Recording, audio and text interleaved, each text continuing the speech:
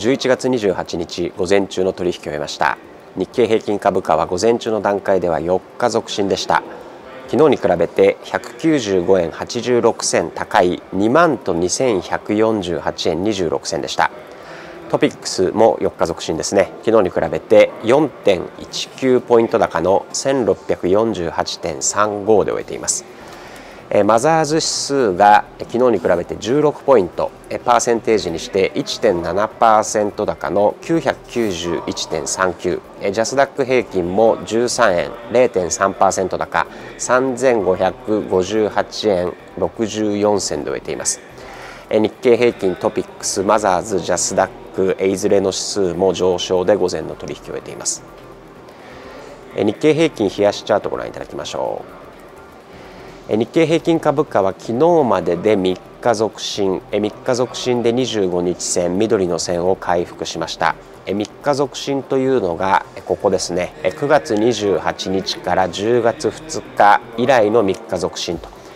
まあ、逆に申し上げれば10月以降11月半ばまではこのように難聴展開。買われた後に売られ売られた後に買われるといったたジグザグ千鳥足相場が続いてきましたが昨日で3日続伸。今日もこのままプラスで引ければ4日続伸。久々の4日続伸となります。日経平均を5分足チャートで見ておきましょう。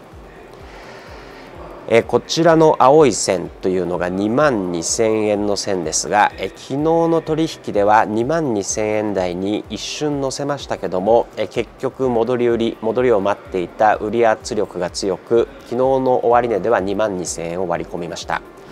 今日は昨日のアメリカ市場3指数とも上昇していたというところもあって2万2000円オーバーから始まりその後売り物に押される場面もありますけどもなんとか水準感を維持と2万2000円台を終始キープしての動きとなっています。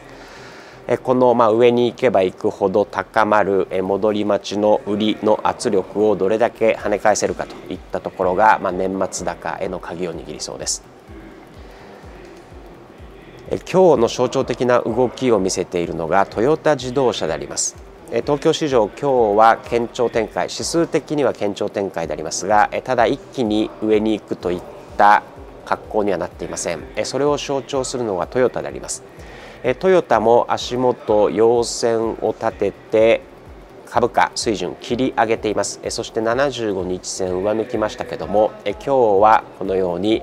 昨日上げた分を一気に打ち消すかのような売り物に押されています。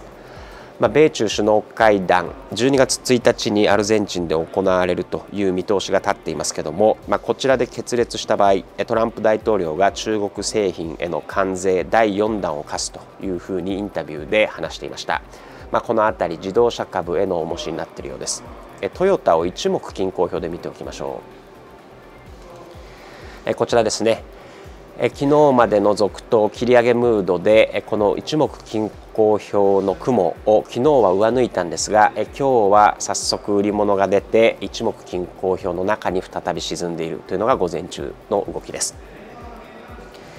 一方昨日弱かったようなセクター例えば薬品株、まあ、買い戻しも含めて新たな資金が流入している銘柄もあります。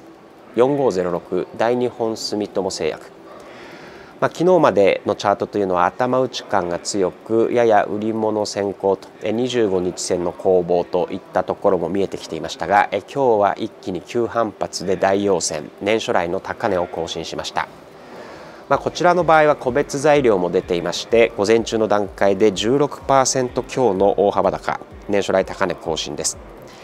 えー、アメリカで抗精神病薬についての特許権侵害の訴訟をしていたけしていましたが、まあ、こちらがすべて解決したということであります、まあ、競合各社が4年後まで後発品を売れなくなったということで、まあ、しばらくは安定的に収益に寄与するだろうと、まあ、そうした快安心感が広がっているようであります。